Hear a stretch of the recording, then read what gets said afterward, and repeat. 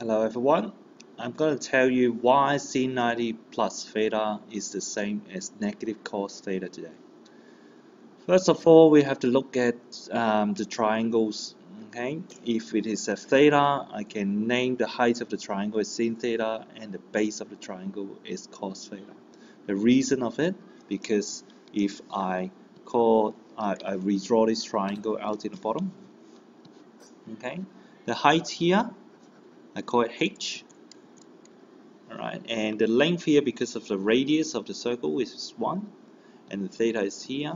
I can use the sin theta equal to O over hypotenuse so O is the height divided by the hypotenuse.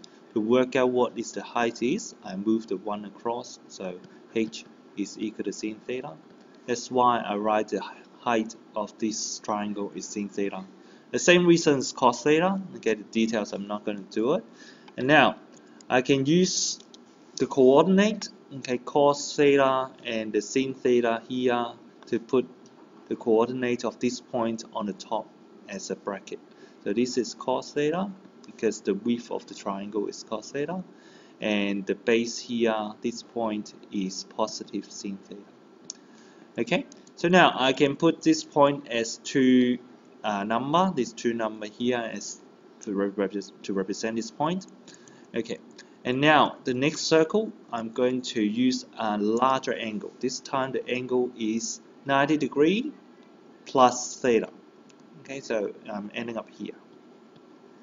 Alright, and this point here, I'm going to use the same coordinate, so I'm using this one here to represent it. Cos something and then comma sin something.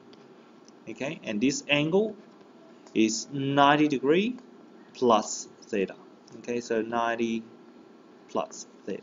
The same as this1 90 plus theta. Okay the first two easy enough. And now I'll use the third one which is the triangle to represent the second graph. The second graph have a point here. And now this time I use the triangle to represent it. And this triangle at theta here.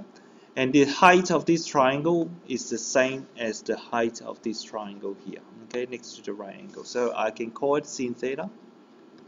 Okay because this height is sin theta. And now by looking at this sin theta I going back to the bottom line here this will be negative sin theta. Alright? So now the coordinate of this point will be start with negative sin theta and now this one here the base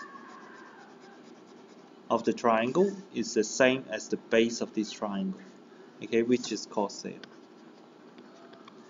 and now by looking at these two um, di diagrams they're exactly the same thing. They're talking about 90 degree plus theta. And by looking at the y value here